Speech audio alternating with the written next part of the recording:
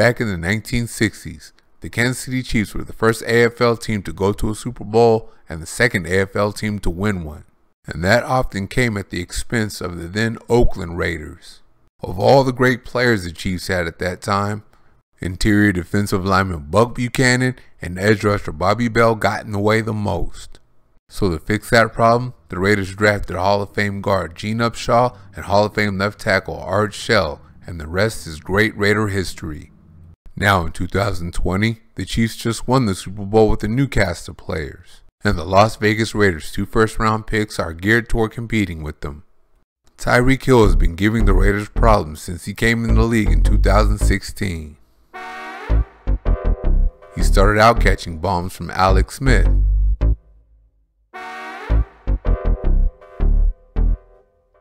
And now he's with super quarterback Patrick Mahomes.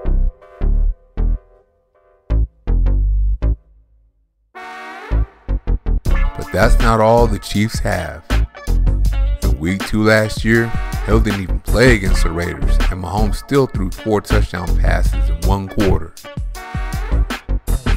Two of them were to Demarcus Robinson, the other speedster.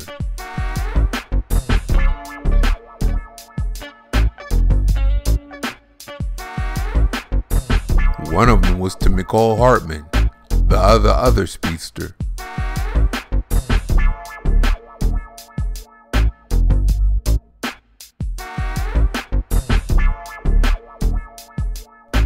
Course, you can't leave out tight end Travis Kelce.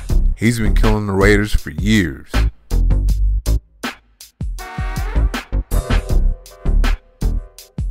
In their Week 13 matchup, the Chiefs won 40 to 9, but it wasn't because of the offense. Mahomes only had 175 yards passing on the day and one touchdown. That's because the Raiders got after him even forcing them into some mistakes, but they didn't cash in on it. The coverage was good on the day, as even Lamarcus Joyner got down.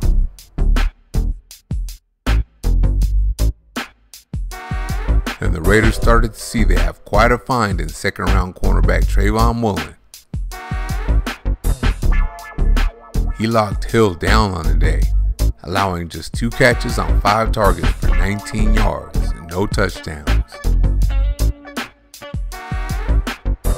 This interception would have been the icing on the cake for his day, but it was wiped out by a bogus pass interference call. When the Raiders passed, all the Chiefs did was jump their routes. Instead of running deep with his man Tyrell Williams, Safety Tyron Williams sees tight end Darren Waller comes across the field and jumps his route, and the result is an interception. You can do that when you don't fear the receiver going deep. Here it's going to happen again. Safety Juan Thornhill has deep responsibility, and Waller's going deep with the linebacker on him. But he sees Williams coming inside and jumps the route for a pick six. Again, if you have a scary fast receiver in the game, the safeties usually respect that.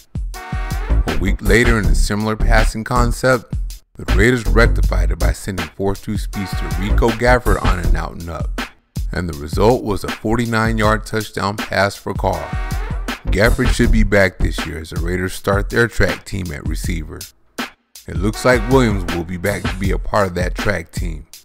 The 6'4", 215 pounder ran a 4.42 at the combine, and he's been clocked at over 21 miles an hour in the game.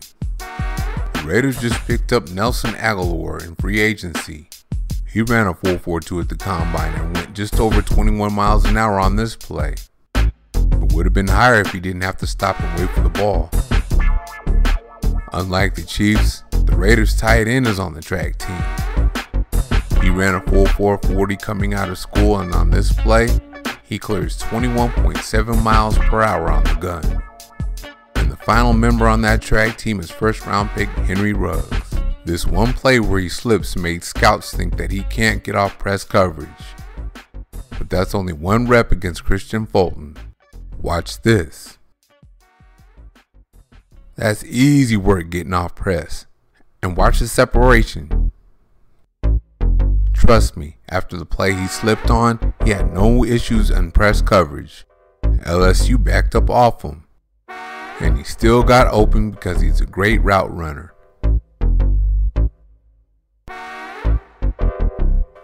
Watch the separation he gets on this play.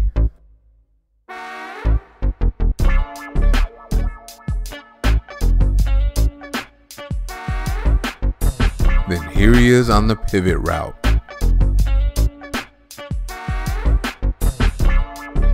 Ruggs also has great hands, the best in this draft class. He only uses one of them here. How about another look?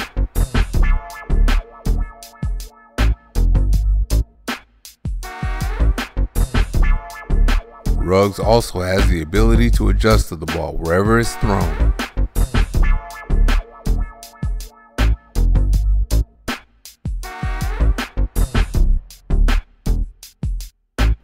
With his 42 inch vertical leap, he'll go up and get one too. Let's see that again. Another one hander. Ruggs can also go up and get one and finish it through contact.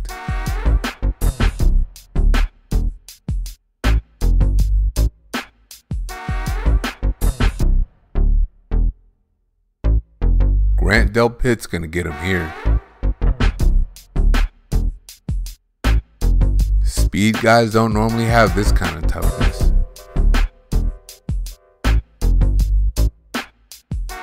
He's not CeeDee Lamb, but he's not the easiest guy to bring down after the catch.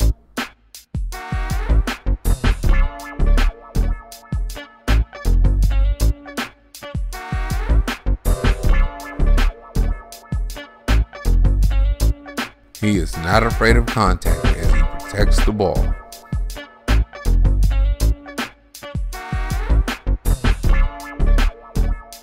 While Lamb averaged 11 yards per attempt after the catch, Ruggs averaged 9 in the SEC. You can hit him with a bubble screen,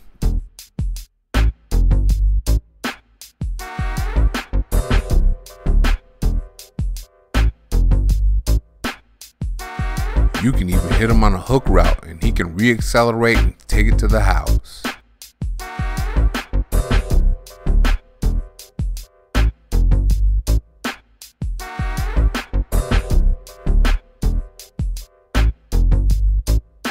If you don't get him with the first man after the catch, you can pay dearly.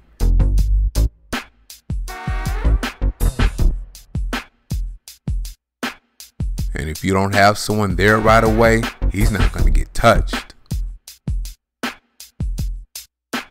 Oh, by the way, he got up to 24.3 miles an hour on this play.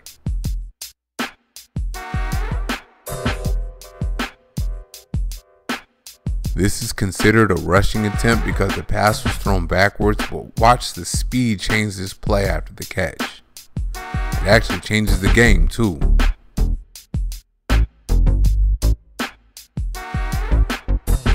Here goes the good old jet sweep Gruden's been calling lately.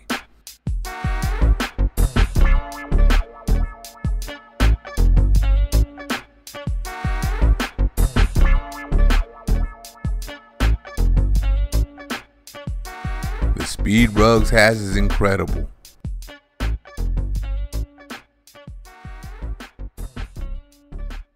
Watch him shoot this gap with it before it closes. With that kind of speed, there's going to be some deep balls flying.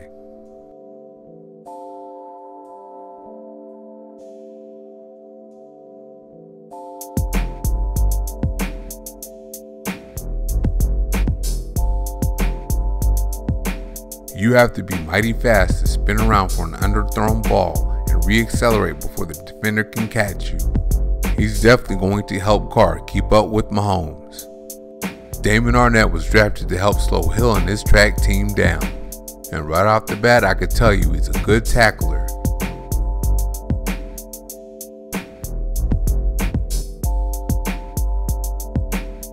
And not just on receivers.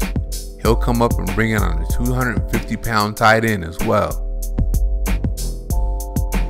When he tackles, he gives it all he has until it's finished.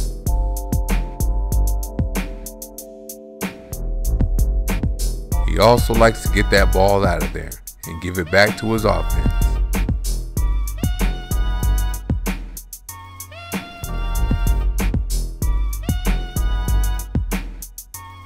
Now the bag.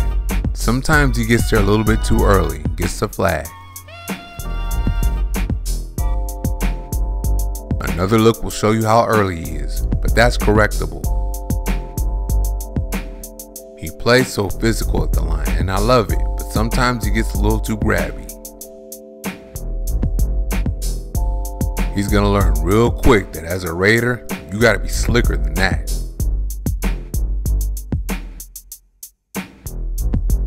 Another thing as you see him come into the bottom of your screen is he sometimes makes mistakes playing the ball. He's with his man, he locates the ball, then curiously, he looks back to play the ball through the receiver's hands. And here he's going to do it again.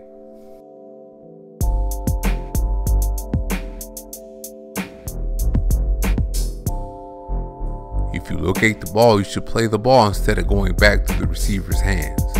But I'm nitpicking here because it doesn't happen often.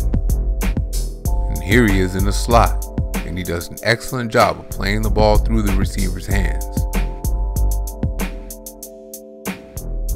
Take a couple more looks at it. Like I said before, I was nitpicking because sometimes he makes mistakes playing the ball through the receiver's hands, but he's actually good at it. I'm gonna nitpick some more, and that's about him in off coverage. Sometimes he's just not as intense as he is when he's in bump and run. But make no mistake about it, he plays off man coverage very well.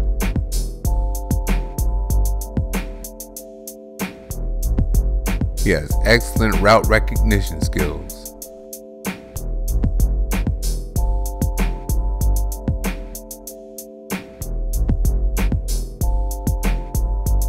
And you can't have the ball near him because he will knock it out. He sees his comeback route coming and he's all over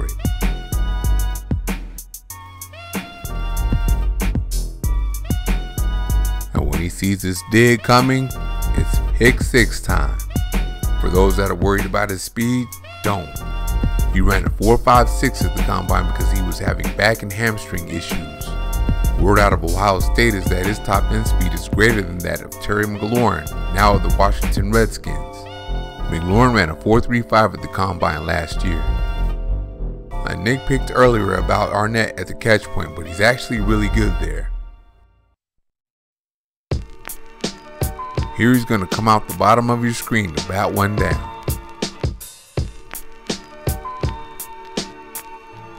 I can't tell you enough how good of a job he does at getting his hands on the ball. Coming out of the bottom of your screen right now, he is so physical. And after that, he's going to get in your head by chirping at you. He's a dog, so he doesn't stop. He was definitely the most physical corner in the draft.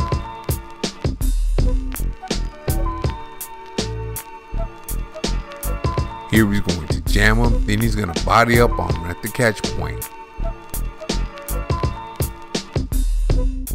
Here's another look. Here he's going to disrupt the timing to the point where he gives his linebacker a chance to jar the ball loose once he catches it. Another look shows you just how much Arnette disrupted the timing. Here, the quarterback almost gets sacked while Arnette's man gets caught up at the line of scrimmage.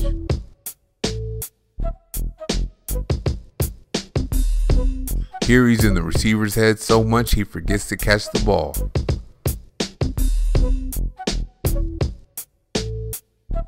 He's so worried about pushing Arnette that his arms aren't ready to catch the ball.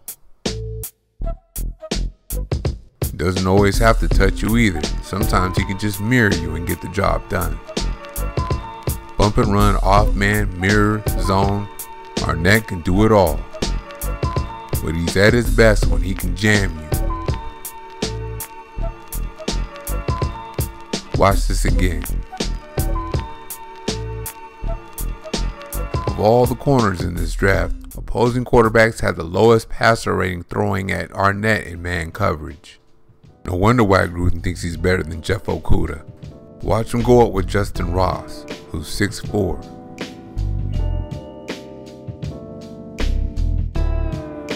That's some sticky coverage right there.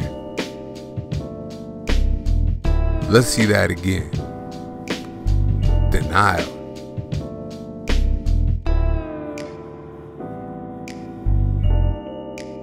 When it comes to running the ball and stopping the run, it's clearly advantage Raiders.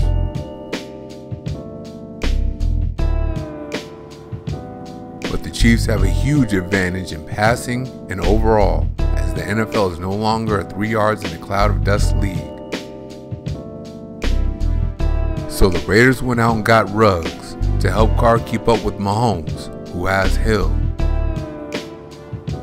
Then they got Arnette to help slow guys like Hill down and close the gap. He's faster and better than people think. Shh, don't tell nobody. Thank you for watching. See you next time.